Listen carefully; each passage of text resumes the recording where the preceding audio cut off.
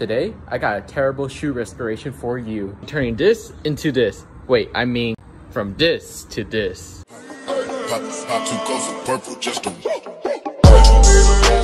Today we're sponsored. Today, this video is sponsored by me. No brand wants to sponsor me, so you gotta support yourself. Let's get to this video.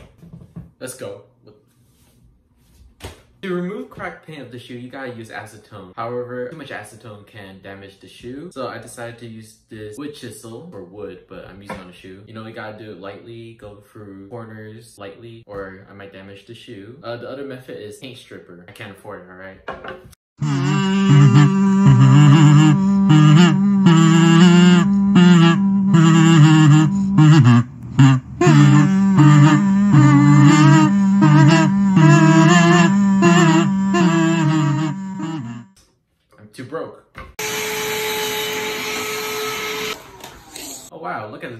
Trying to sniff that. Sorry, forgot to line that paint up, you know, you got, sometimes you got. So I haven't used Photoshop or anything, so here's my attempt of taking pictures for the clickbait or thumbnail. Ka-chow!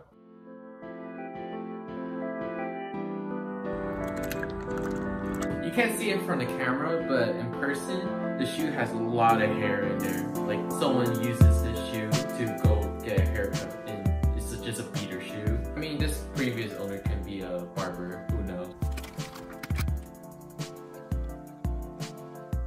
using my own soap solution and you gotta make sure the shoe gets bubbly on the outside and the inside.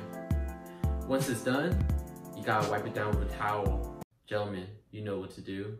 When it's bubbly, you gotta wipe it down. Wipe, wipe, wipe it down, wipe.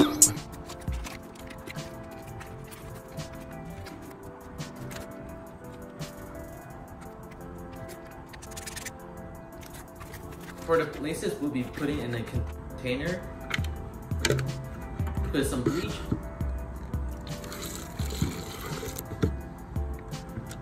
Soap solution. And some warm water. Tighten up the container.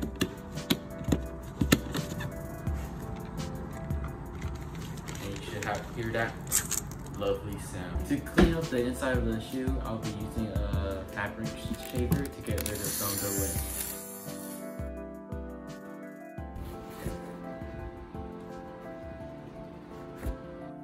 So I'm tipping the shoe so that I can uh, lightly put some acetone on the midsole so that some of the acetone won't leak on the upper part or the bottom part of the shoe.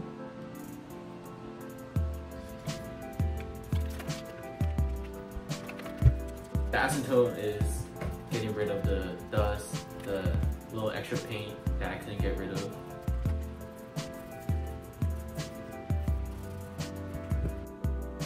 I'm going to be using Angelus black and white uh, acrylic leather paint on the midsole. As I'm painting, I will be adding layers and using a hair dryer so that I can speed up the process.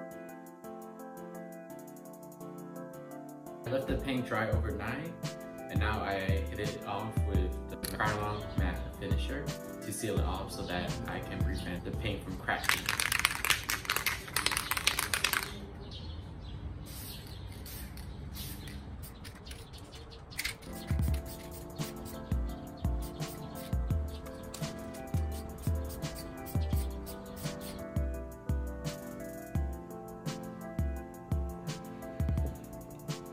To remove creases, I'm to, you gotta stuff the shoe with sock. No, I'm not talking about the sock near the lotion that's on your computer table. Come on guys, you can do better than that. I forgot to show you that to remove creases, I'm to cover the shoe, the toe gap with uh, a damp towel and use an iron. Sizzler.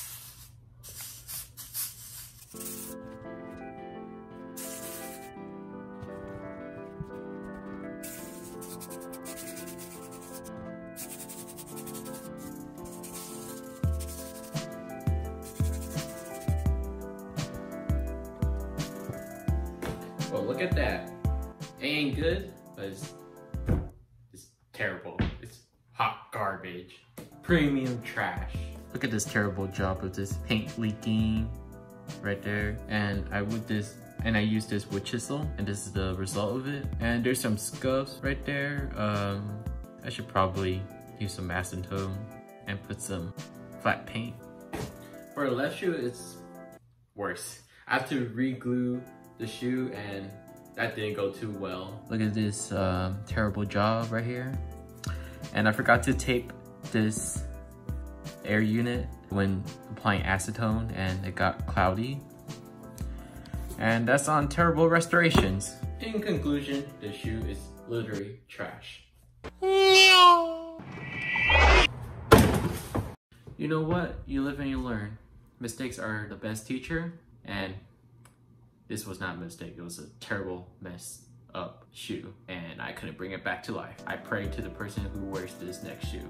If you made it this far, I don't know how, how, how did you make it this far? You might just check out my TikTok, link in the bio for more random BS content. You know what, follow my Instagram so that I can make other people cringe or hate on me. That's the beauty of terrible restorations. I hope you enjoyed this trash content or terrible restoration. I can finally delete all those clips on my phone and have some storage. Thanks.